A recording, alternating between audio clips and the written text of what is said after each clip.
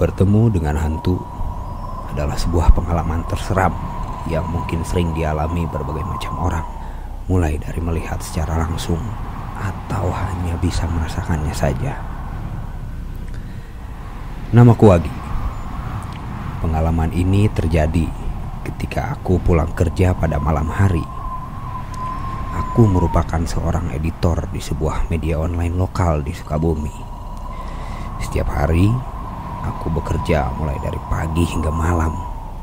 Biasanya pekerjaanku baru selesai larut malam. Kadang jam 10, bahkan sampai jam 12. Aku memang bukan asli Sukabumi.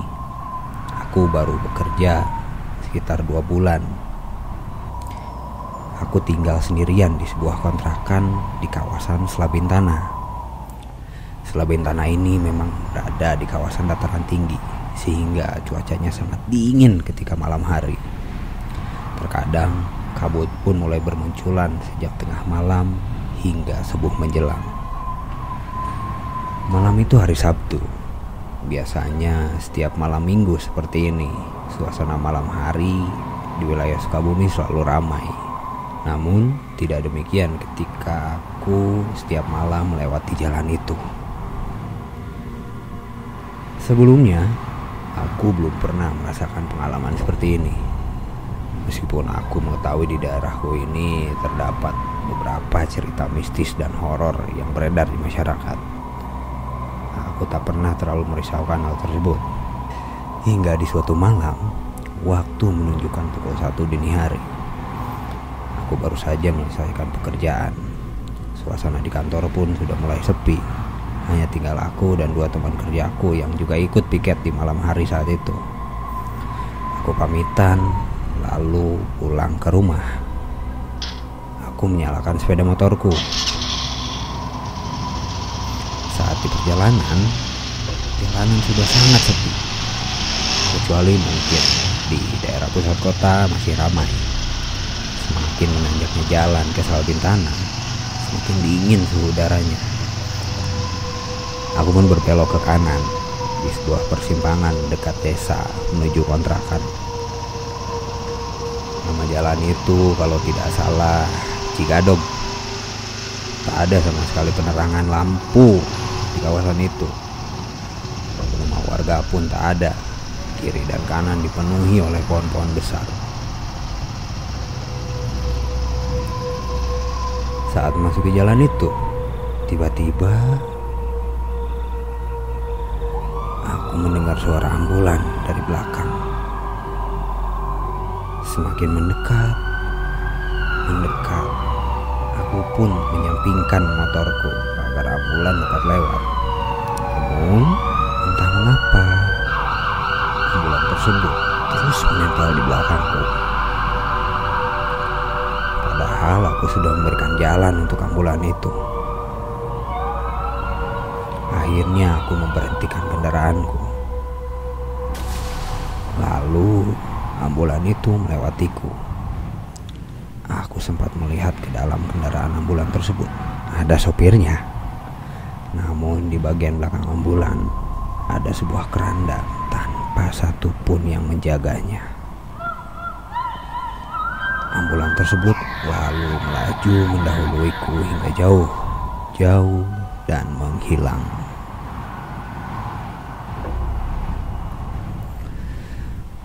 Aku baru tersadar saat menyampingkan motor, ternyata mesinnya mati. Aku pun mencoba menyalakan kembali mesin motorku. Entah mengapa, motor ini tidak mau menyala. Aku pun berusaha menyalakan motorku ini dengan menyalahnya.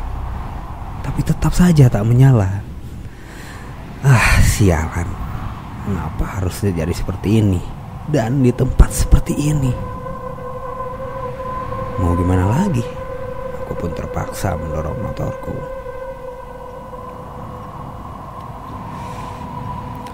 Aku masih kepikiran tentang ambulan tadi. Entah mengapa seperti ada yang janggal dengan ambulan tersebut. Saat mendorong motor, angin tiba-tiba berembus kencang. Ranting pohon bergoyang. Kicauan burung hantu terdengar. Sialan, bulu kuduku berdiri. Dan aku mulai merasa cemas. Aku tetap mencoba tenang dan membaca bacaan doa agar tidak terjadi apa-apa. Aku heran, sudah berapa lama aku mendorong motorku ini. Padahal seharusnya aku sudah melewati daerah Cikadong ini. Tapi mengapa terasa panjang dan lama?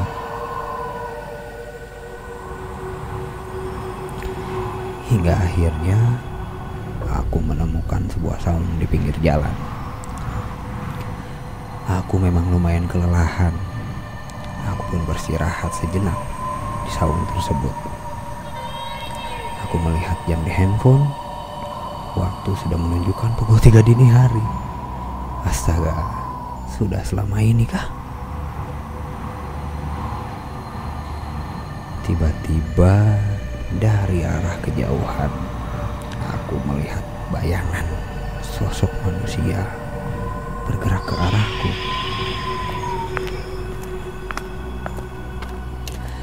Aku mulai merasa was-was. Perasaanku tidak enak.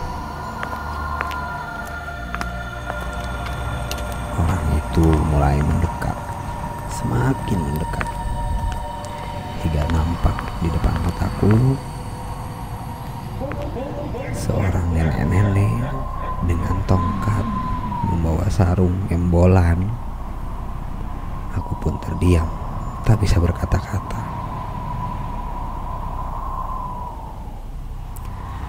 Nenek itu mendekat, tapi tersenyum kepadaku. Pun membalas senyuman nenek itu. Ia berkata, Jang, miring calik. Sahutku, mangga mak. Kami pun duduk bersama. Ia nampak lelah dan membereskan barang bawaannya. Mengapa aku tak berani mulai percakapan. Aku juga memikirkan apa yang dilakukan nenek tersebut di malam hari seperti ini. Berjalan sendirian, aku pun akhirnya memberanikan diri bertanya kepada nenek itu. Emak, badai ke mana? Ma pada lungsur di Sunda Jaya aja. Pikirku lumayan searah dengan jalan pulang menuju kontrakanku. Aku pun menawarkan tumpangan ke nenek tersebut. Emak, ayo sarang abdi dibonceng ke Sudajayana. Sawios sawios jang. Udah caket, tinggal mapa sakedik deui. Aku pun memaksa karena tak tega juga membiarkan nenek sendirian berjalan pada malam hari seperti ini. Aku pun terus membujuknya hingga akhirnya dia pun mau. Aku pun langsung naik ke motorku dan aku secara tidak sadar menyalakan motorku dan tiba-tiba motorku kembali menyala. Sungguh aneh. Kenapa tadi motor mogok sekarang bisa menyala?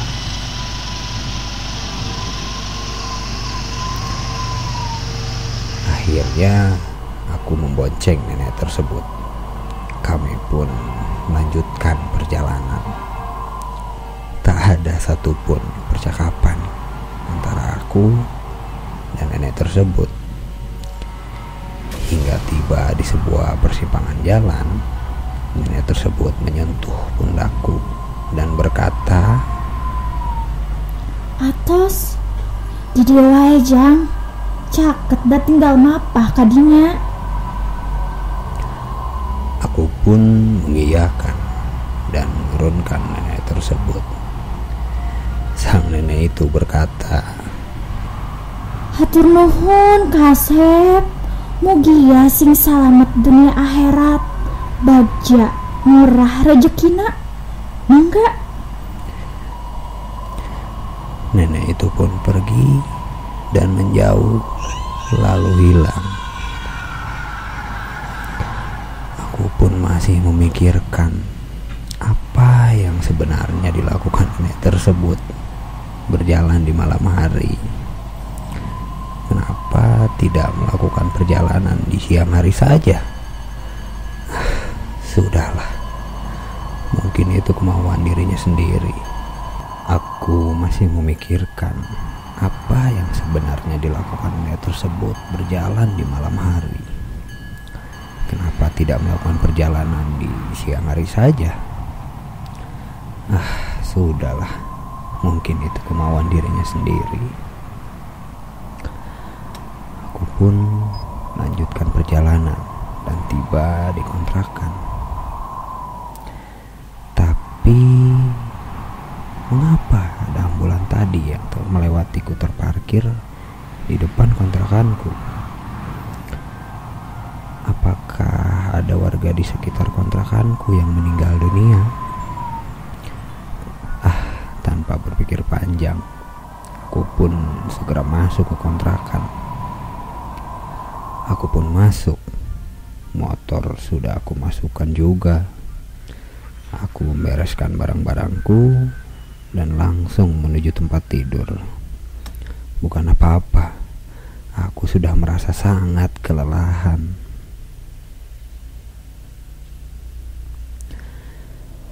Tak terasa, aku mulai mengantuk.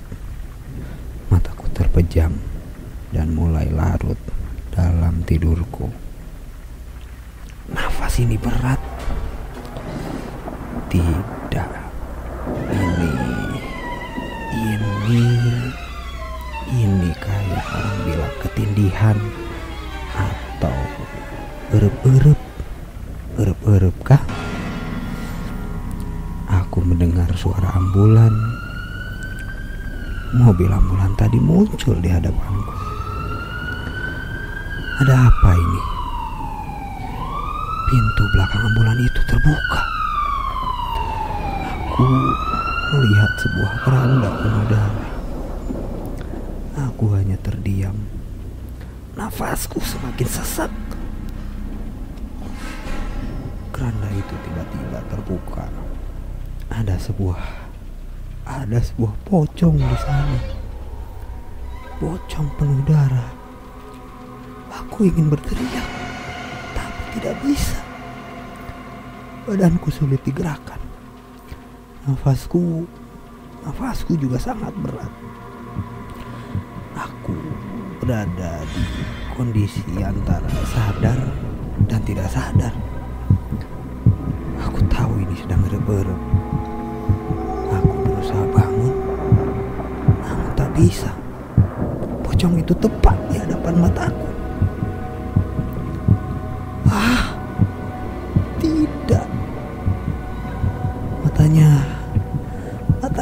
Tajam. Matanya melotot ke arahku. Aku mencium bau tanah. Kenapa mataku tak bisa aku tutup? Mataku terpaksa melihat pemandangan seseram ini. Apakah apakah aku akan mati di sini? Tiba-tiba aku mendengar azan subuh. Apakah sudah subuh? Lalu ada seorang nenek datang menghampiriku. Ternyata nenek itu yang tadi di jalan bertemu denganku. Ia mengeluarkan sebuah air dalam botol dan melemparkannya ke pocong tersebut. Pocong itu terlihat kepanasan. Ia kesakitan. Pocong itu lalu mulai lenyap dan hilang. Nenek itu, nenek itu aku masih ingat betul. Aku tertolong. Saat aku ingin mengucapkan terima kasih, nenek itu melihat ke arahku dengan senyumnya yang masih sangat aku ingat. Lalu tiba-tiba hujan kembang melati jatuh. Apa ini? Cahaya putih hinggap. Aku pun terbangun. Badanku lemas. Mengucur. Aku tak bisa berkata-kata. Aku tiba-tiba menangis. Halo? Agi pulang ya. Ada apa, Wak? Nenek